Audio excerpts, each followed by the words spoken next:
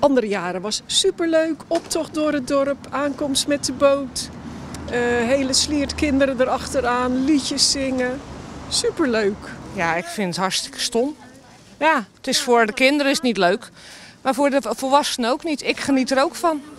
De intocht van Sinterklaas in Dorp gaat dit jaar niet door. Het organiserende Oranje Comité ziet het feest onder de huidige coronamaatregelen niet zitten om deze mensen die hier op de brug zouden staan, gelijk de klaverhal in te krijgen. Nou, daar zijn we een paar uur mee bezig. Want we een coronacheck aan de deur. En natuurlijk later ook nog een keer eh, anderhalve meter afstand halen in de zaal. Nou, dat gebeurt niet bij die mensen, want die gaan lopen met de kinderen. Het Oranje Comité heeft dit jaar het al overgenomen van het dorpsfeest. Nou, die bestaan uit veel meer mensen. En wij bestaan op het ogenblik maar uit drie mensen. Dus dat is heel moeilijk te realiseren.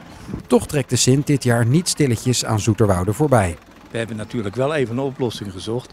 Want we hebben hier een school waar eigenlijk alle kinderen vanuit Zoeterwoude ja, aanwezig zijn met de SKZ. Dus we hebben het nu verplaatst naar 3 december. Dan is de Sinterklaas en de Zwarte Pieten op school. En het strooigoed wat we hadden besteld, ja 50 kilo wordt, is heel wat. En uh, nog alle dat gaat gewoon naar de school toe. Dus die kinderen kunnen daar genieten van de Sinterklaas surprises.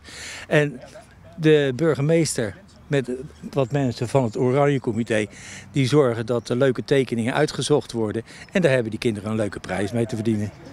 Ik heb er wel begrip voor, maar desondanks vind ik het wel heel erg jammer. Ja, uh, corona is, uh, is niet zomaar uh, weg natuurlijk. ja, we moeten eenmaal een beetje aan de regels houden, vind ik.